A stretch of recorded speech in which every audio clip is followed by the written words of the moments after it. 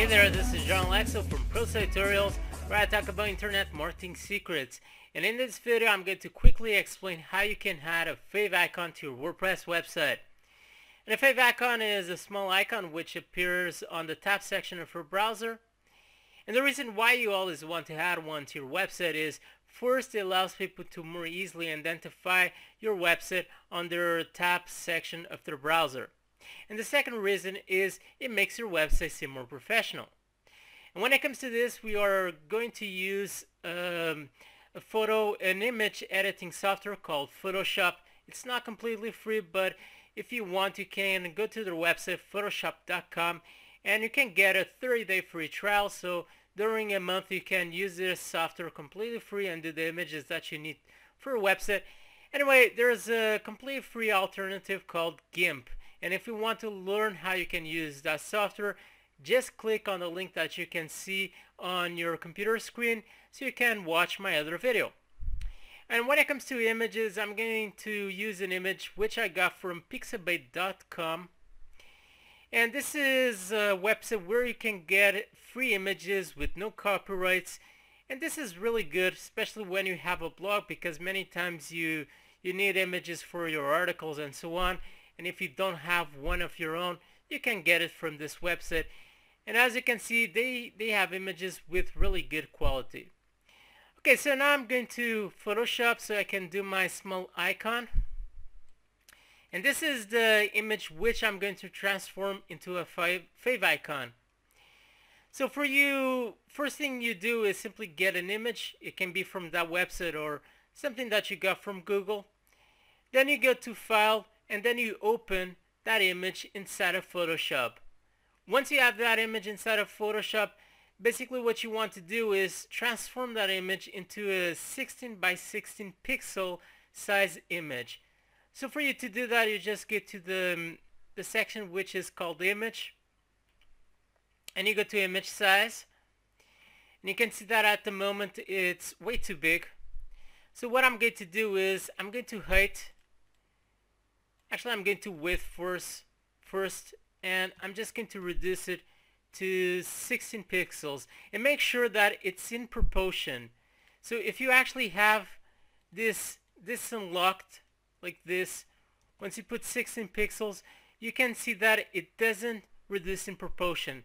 So you actually need to have this lock so you can be able to do that.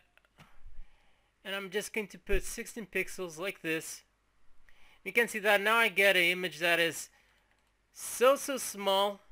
And for you to zoom in you, you need to have this this icon over here selected this option over here selected. And then you just can zoom in. And you can see that it looks really terrible when you just zoom in really closely. And now what you want to do once you have that saved actually this is if I'm not wrong it was 16 by 17 pixels. So what I'm going to do is I'm going to create a new image. So I'm going to file I'm going to create a new layer and I'm going to have this 16 by 16 just like this. And what I'm going to do now is I'm going to pass this image from here to this to this side over here because I want to have it 16 by 16 I want that exact size so that's exactly why I opened a new layer because this layer has exactly the size which I want. So basically what I want to do is you can see that over here on the layers uh, window you want to make sure that you have the right layer selected and you just want to pass it to the other window which has exactly the right size. Now basically what you want to do is try to center it as best as you can and once you do that and you can see that in this case I actually have a white background over here. Actually I'm going to, I'm going to just leave a white background in this case. And now what I'm going to do is save this file on my computer. So I'm going to my computer and I'm going to save it on my desktop.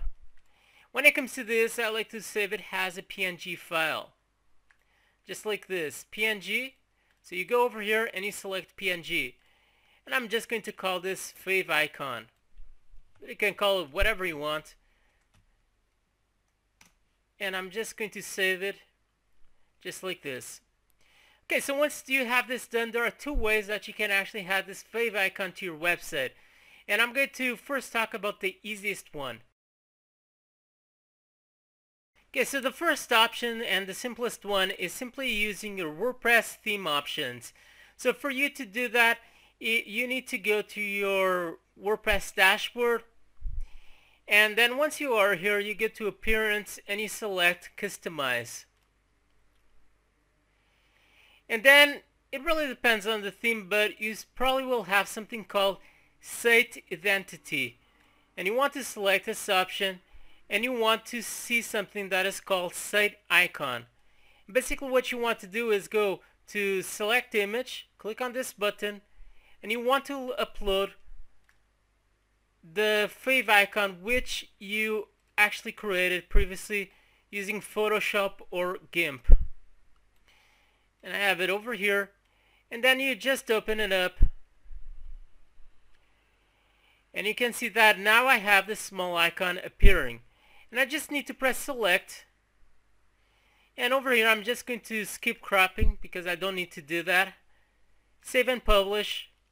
And you can see that now I have the small favicon appearing on the top section of my browser.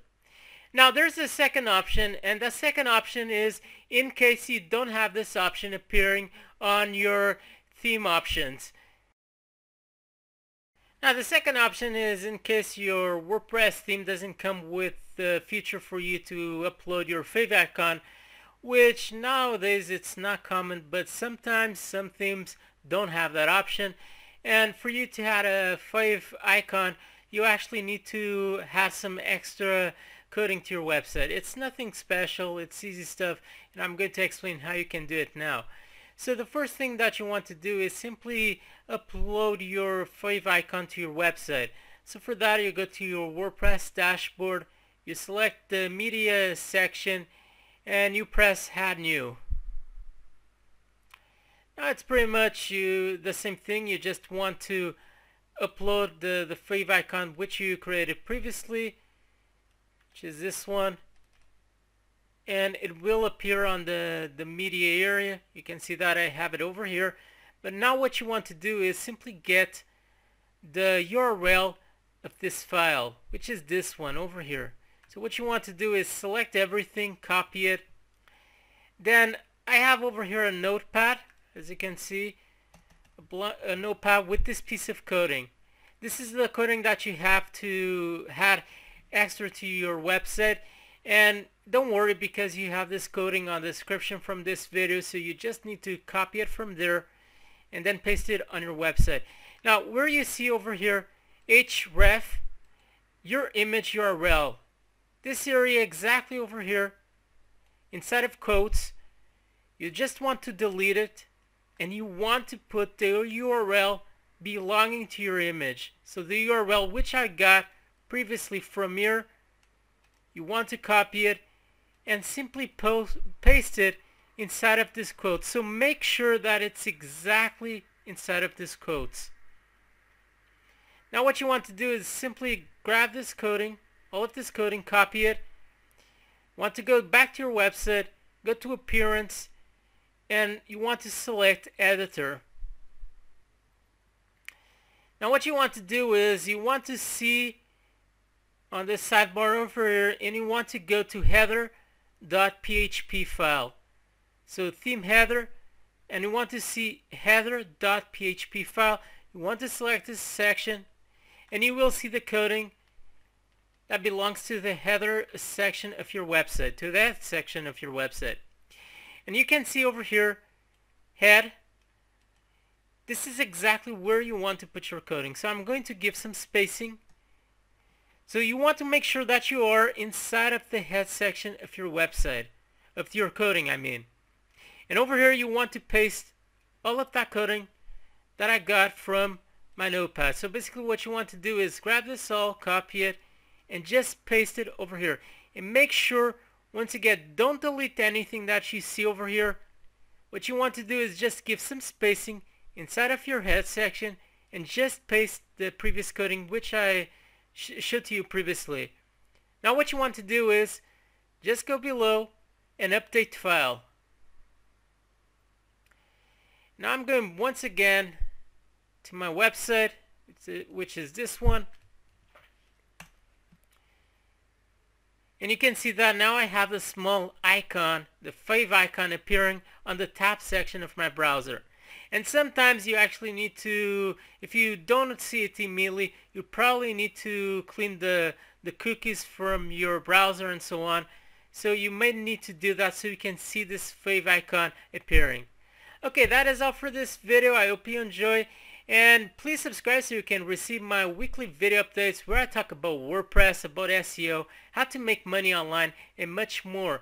Stay there, stay tuned with Pro Tutorials, and bye!